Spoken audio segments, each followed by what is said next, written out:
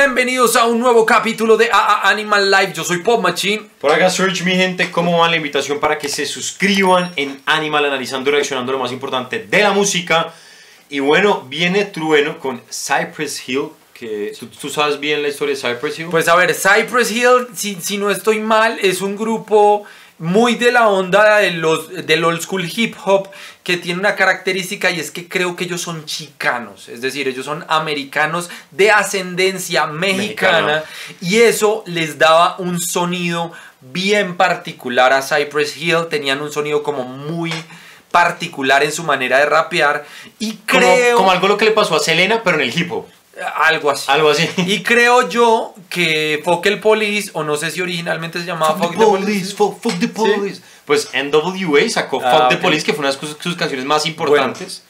Esa canción es como medio histórica en el Ok, hip hop. pero acá dice Fuck el sí, Police sí. Remix. Pero a ver, yo creo que es un, No necesariamente. es un guiño, mano. Es una No, canción muy histórica, Pero Fuck the puede, Police. puede que Cypress Hill tenga una canción que se llame Fuck el Police y tú no Ah, sepas. Sí, bueno, O sea, sí. porque esto no es con NWA. O sea, tú dices que Hill. Fuck the Police es una canción de Cypress Hill a la que Trueno está haciendo un remix. Mm, Me parece ser. que existe una posibilidad. No, no digo, o sea, no tengo el conocimiento para decir ¿No eso. lo, ¿No lo asumes categóricamente? No, no, yo no me atrevo a afirmar esto. A ver, vamos, vamos a buscar aquí A rápidamente ver. Fuck the. Fuck da, ¿Cómo Fuck es? el Police. El Police. Pero con U. Trueno. Es una canción de Trueno. Ah, ok.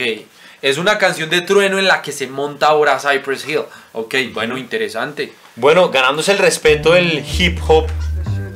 Histórico eso. Pues sí, es bien histórico, la verdad. Ya el hip hop como de verdad.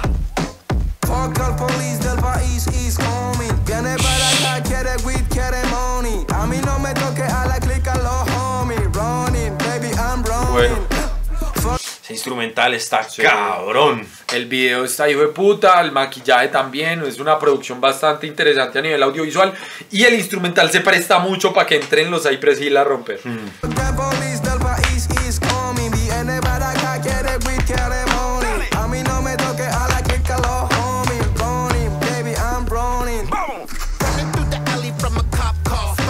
al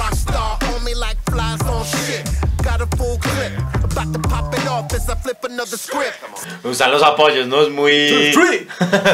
o sea, es muy de ese código. Muy, muy de ese Muy- código. Sí, y pues si ves que tienen una forma de dicción que pues se les nota un poco la, la, El la asunto ascendencia. chicano.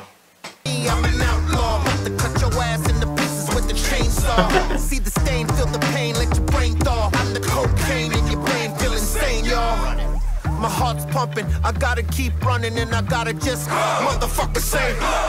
I'm never stopping and my pistol keep popping and I gotta just Fuck al police del país is coming. Viene para acá, quiere weed, quiere money. A mí no me toque a la clica los homies. Running, baby, I'm running. Bueno, a- a- algo pues, me parece muy chévere tanto como que el hecho de que Trueno se aproxime, o no sé si hayan sido los Cypress Hill los que se aproximaron a él, pero que, que Trueno se aproxime a los Cypress Hill y les diga, miren, quiero colaborar con ustedes. Son Y que en, en, pues, en el sentido opuesto, los Cypress Hill digan, ok, nos interesa colaborar contigo. Porque yo siento que Trueno tiene como un spot bastante particular en la industria de la música, porque él viene como de una herencia muy OG hip hopera. Pero al mismo tiempo como que, como que digamos el hip hop latinoamericano, sé que hay gente acá en Colombia que cuestiona la como la validez artística de Trueno por, por ser un pelado joven, por lo que sea. Claro. Eh, y pero entonces como que este tipo de movimientos legitiman mucho artísticamente a Trueno. Sin Sí, embargo, 100%. solo viendo el, el repertorio de Trueno, yo siento que él se legitima solito, pero pues... Sí, pero para la persona más descontextualizada y como que es más, eh, no sé, para mí, el, como que pronto tiene otra mirada muy, muy específica hacia un lado del rap. Así es. Pero pues la verdad es que Trueno sí ha sido bastante como Enfático. real y fe- sí, como contundente con su propuesta hacia ese lado. Ay. ¿Qué tal es? Señora, acá tengo los papeles. Y requísenme si quieren. Si revisa la mochila, van contra siete carteles. Aunque use Siete cachiporro, carteles. un uniforme y una nueve, es imposible. ¿Los carteles son que premios? como los Nuestra Tierra de acá, De creo que pronto sí. sí, es, es probable. Son ustedes todo menos policía, me enseñó papá de chico, por eso le hago la guerra a todos los Federico. Y para los dinosaurios que avalan a los milicos, esta vuelta me la cobro por los 30 mil y pico. Qué chévere ahí el, el símbolo del, del micrófono como arma. Mm. Están ahí. A ver, es una canción bien contestataria, Sí. cosa que hoy en día en la música no es lo más común. Hubo un tiempo en la música que fue muy contestatario, claramente el hip hop ayudó mucho a que Claro. sucediera y pues se necesitaba esa respuesta musical. Llegamos que hoy en día la parte contestataria o esa parte comercial ya no particularmente tiene que venir de la música, sino hay otro tipo de cosas y facilidades y herramientas de difusión que han ayudado a que eso se transforme y la música pues ha ocupado otros espacios en la sociedad que ya no son tan contestatarios, pero está interesante que pues Trueno a través de esta canción y también obviamente con este remix vuelva y traiga un poquito de ese nacimiento del hip hop, ¿no? Como esa parte de mostrar una realidad social, ir un poquito en, co- en contra del establishment. Son asesinos, yo grito nunca más por todo el pueblo argentino. Y si no te quedó claro, te lo digo con Be Real. Fuck el police, me cago en la policía. Fuck el police del país, is homie. Pues un lanzamiento muy coherente. mí algo que me gusta mucho de Trueno, y yo siendo una persona que, a ver, que el primer género al que yo me suscribí a hacer música fue el rap, y fue como el primer género del que me enamoré, pero pues rápidamente tengo que decirlo, me desenamoré porque vi que a través de los años los artistas hacían lo mismo y lo mismo, particularmente los hispanos, sí.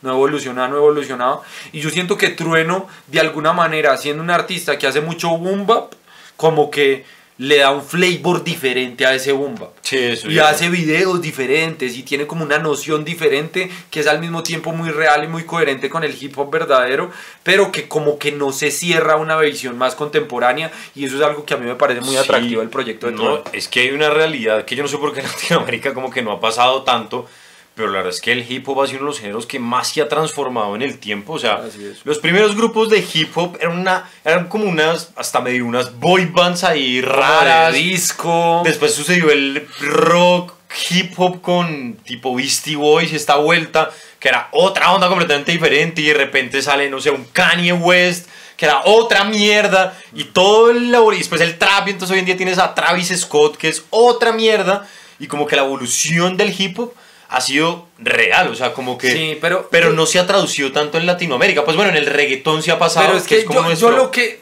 sonido urbano. Yo lo que pienso es que, a ver, como el hip hop llega a Latinoamérica como una herramienta sociocultural de protesta y todo eso, como que se queda congelado el rap en ese momento sonoro, ¿sí?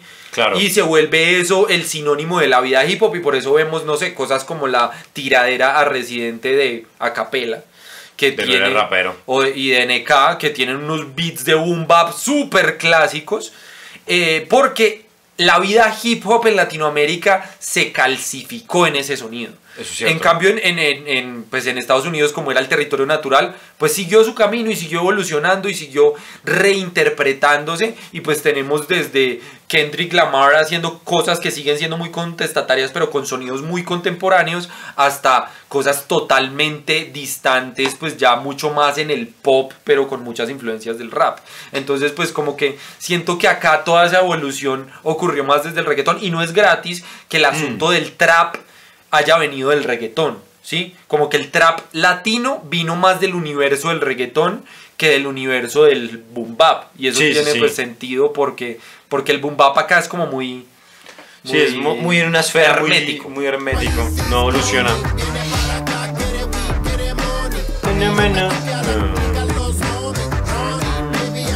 Oficial, se le cayó todo.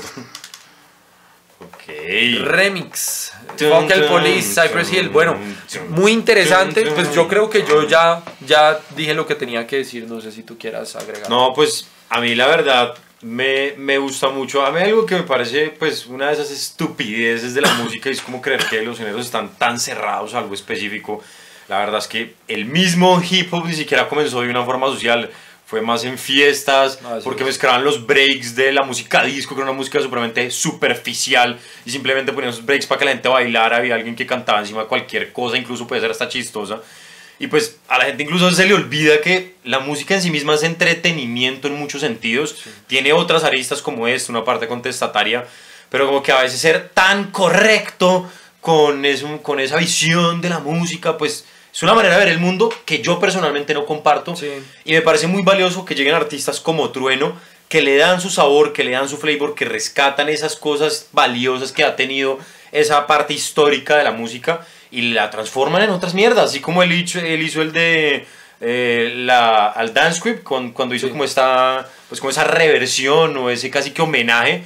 Es otra vuelta al hip hop, que en ese momento se criticó mucho porque una canción supremamente superficial y que no decía nada y pues una canción para bailar. Pero la música tiene tantas aristas y como que es muy triste que la gente se, se pierda algunas aristas simplemente por estar criticando qué es lo correcto, Sí. lo incorrecto. A ver, como que la, no hay música, nada correcto incorrecto. la música tiene muchos superpoderes, el superpoder de estimular el intelecto, el superpoder de cambiar el mundo con cuestiones sociales, el superpoder de además hacer mover el cuerpo, de servir como una herramienta de socialización, de sanación. una herramienta de sanación, una herramienta de cortejo, de, para frotarse con la chica que te gusta. O sea, Que la también música, es válido La música humano. tiene tantas funciones que hay veces casarse con que solo tiene una y es la única válida, pues es un poquito limitante y pues esa es nuestra visión. Nos gustaría conocer la visión de ustedes. Entonces, si les gustó esta reacción, déjenle su like, vayan y comenten y sobre todo vayan al botón rojo de suscribirse para que estén pendientes de los contenidos que tenemos para los amantes de la música.